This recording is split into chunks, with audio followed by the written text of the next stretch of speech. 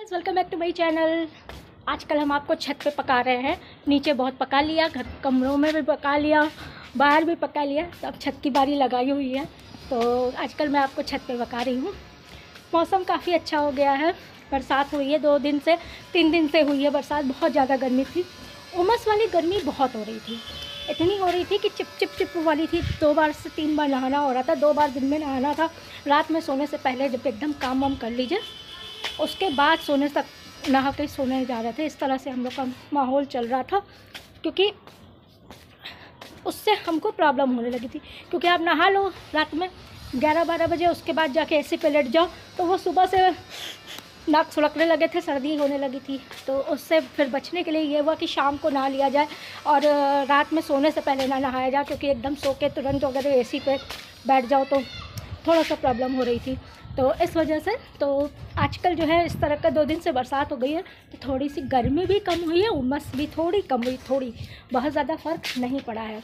अगर आपको आज का मेरा सूट अच्छा लग रहा होगा तो ये देखिए आज का ये मेरा सूट है, जयपुरी सूट है, इसके नीचे आपको इस तरह का पजामा मिल जाएगा, ये देखिए।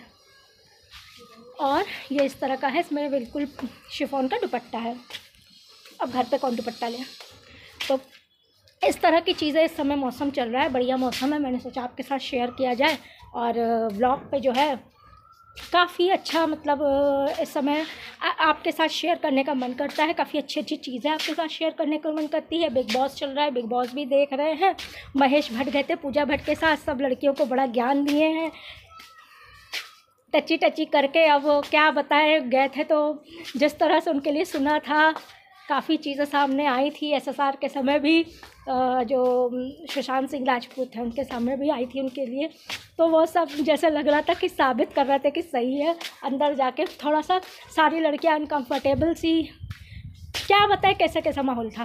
तो आप लोग खुद अगर फैमिली वीक देखा होगा, महेश भट्ट का जाना देखा होगा तो समझ में आ रहा होगा बेबी का के हाथ इस तरह से टिक रहे काफ़ी चीज़ें होती हैं उनका इसी तरह का है।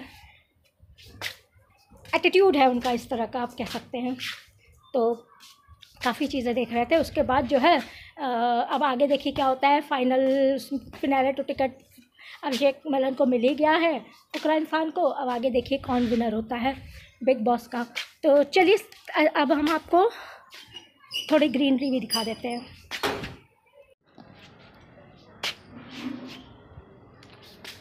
ये देखिए, ये मैंने एलोवेरा जो लगाया था, वो मैंने आपसे बताया था ना, गमले में लगा देंगे। ये देखिए इस तरह। ये काफ़ी अच्छा पेड़ लगता है। मोर पंखी भी मेरे पास है, दो थी, एक सूख गई थी।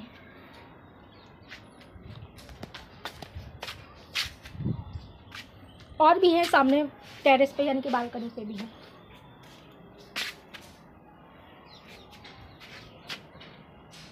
सब भी आपके साथ शेयर कर देते हैं। अगर हम घर के ब्लॉग शेयर कर रहे हैं तो ये सब भी शेयर कर ही देते हैं।